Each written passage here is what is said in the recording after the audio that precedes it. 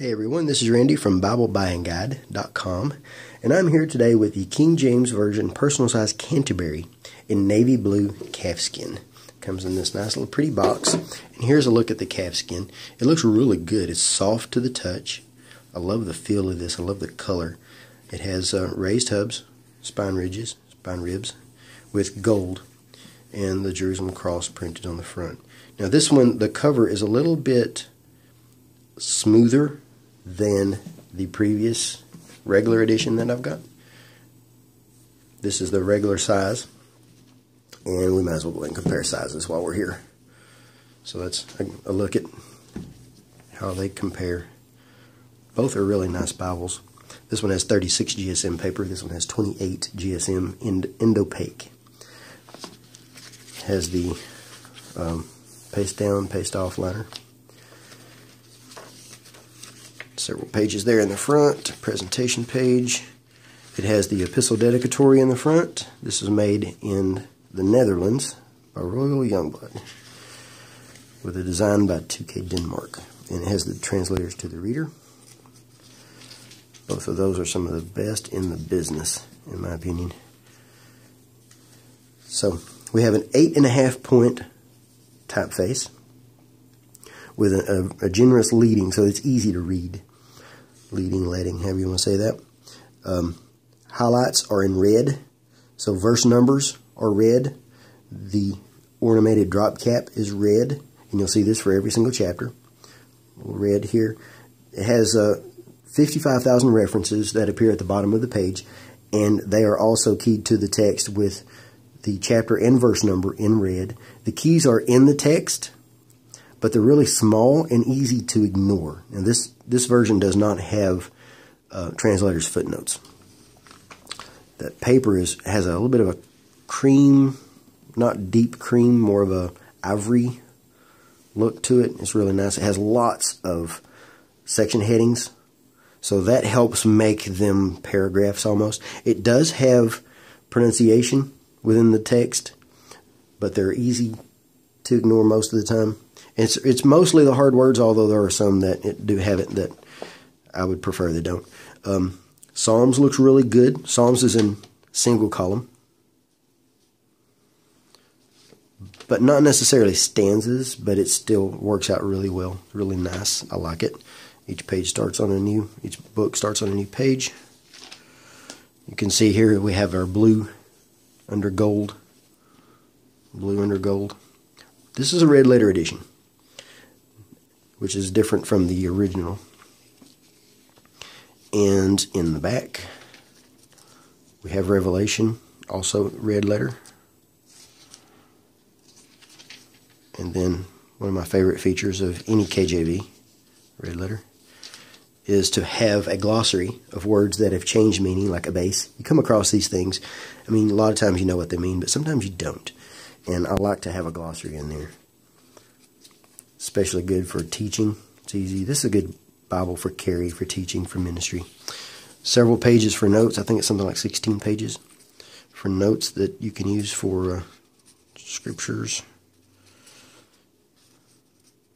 memory list, or for outlines for teaching, or any of that sort of thing. It has the Schuyler Bible maps. I'm going to try to show you what the maps are. 12 maps. These are my favorite colors for maps. This is it right here. Thick enough paper, not not as thick as some Bibles, but at the same time, it's not the Bible paper. So I don't know the GSM of that, but still really good. I love those maps. Though I love that those colors. Almost Red Sea crossing there, but not quite. And that's it. Several pages in the back for, for you know the thick pages. Sewn, of course. They don't make them not sewn. Nice little Bible. Good Bible for ministry. Good Bible for holding, carry. I like using this one for reading. The print is dark, but not so dark that it burns your eyes after a while. But at the same time, it's dark enough to read with decent lighting. You don't have to have the greatest lighting. Decent lighting. You can uh, read this for a long period of time with the um, the opacity of the paper, with the color of the paper, the color of the font. This thing's easy to read and hold and carry and Really good, really good Bible. I like this. You can get this at evangelicalbible.com. I'll put a link at the bottom of this. Let's compare it to a few things here. Here is a look at the original, which I still like. This original has 38 GSM paper, and it is a good Bible. It really is. I use this thing for teaching, for preaching. Let's look at Psalms. Try to line this up so you can get a better look. Psalms, and let's go to Mark.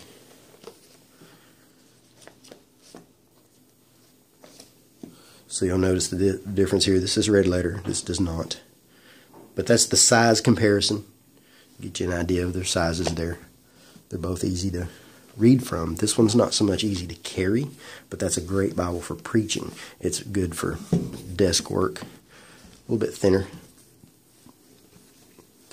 Let's look at a few others. Pitt Minion. Pitt Minion is quite a bit smaller. Quite a bit smaller and that shows. Now the Pitt Minion, this one has 28 GSM paper. Some have 27, some have 28. Depends on what you get.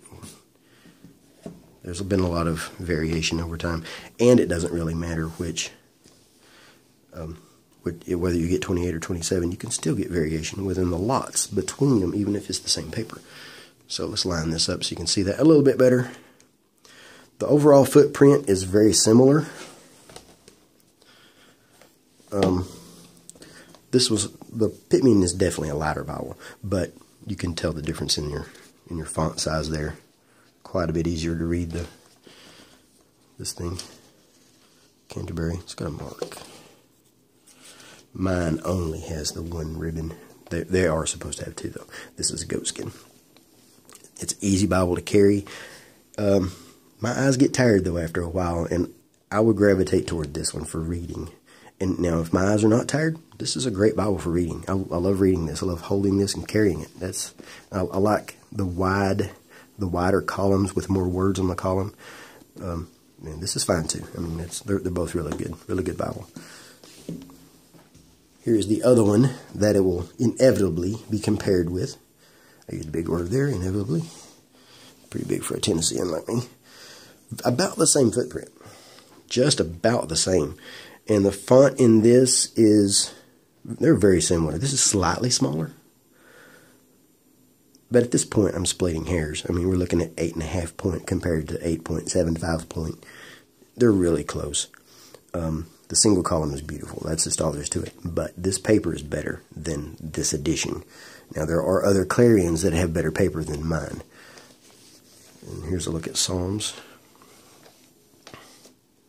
how they compare the single columns. This is a good Bible for reading, good Bible for carry. I love the color of that paper. Um, I wouldn't mind if it were a little bit more opaque. The biggest problem is, is the page curl, which I don't have so much today. Here's another one. This is the Brevier Clarendon from Allen. This has the same cover as this one. Let's a look at their footprint together, how they look. This one is a little thinner, but this also has thinner paper. Let's see what we got here. The Brevier Clarendon has a lot thinner paper. It also has a lot darker font, so you're going to see more show through. It's going to be more obvious. It's a good reader. Um, when I say reader, this is the best for reading as far as the design. This is designed for reading. They fix all the, the verses that start with a capital letter, even though they should start with um, a lowercase. Of course, I'm not finding any here, but trust me, you'll find them. But to hold and to carry, that, that's a that's a good Bible to hold and carry. There's Mark. Let's take a look at Mark. Between the two, this paper is better, there's no doubt. There's no question about that. This this just has better better paper in my opinion. This is still a good Bible though. This has a lot of material in the back. But you don't necessarily need all that carrying with you. It's good they have, but that that's a good good option. Here is the personal size Concord. Now their footprint is their width, thickness, similar. And there's that's how they're going to compare. That's how they're going to compare. The difference, of course, being the inside. And the cover. This cover is really stiff. I'm going to have to hold that one open because it will not stay open on its own. But that's a look at Psalms.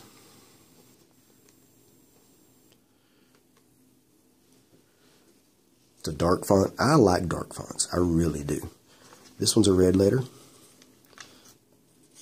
As small as this font is, I still don't have any issues reading it. Um, you can see the problem I've got with it, of course. If I'm teaching someone, I don't need to be fighting against my cover. If I'm laying this on a pulpit, that's that's going to be a problem. I don't have any issues with this one. This one stays open really well. And this does look good. And if my eyes are not tired, I don't have any issues at all reading this. Still, I'm not I'm not going to really fight that all day. Here is another one, which also has the same cover, the same leather. This one is the Compact Westminster, one of my favorite Bibles. I like a lot of these Bibles, though. It's about the same thickness. There's the footprint difference. About the same thickness. This has, if I'm remembering correctly, 32 GSM paper. Really nice. If you want references, that's your Bible. 200,000 cross references. And they're relevant too. They're not just there to, just to be there. They're good references. They really are. Excellent Bible for study. And of course, you can see the problem you may have with it. Tiny text. It's even smaller, or about the same at least, of the Pitt Minion. Pretty though. I mean, you know, I love this paper. I, I, wouldn't mind if this print were just a touch darker. That would not hurt my feelings uh, uh, in the least.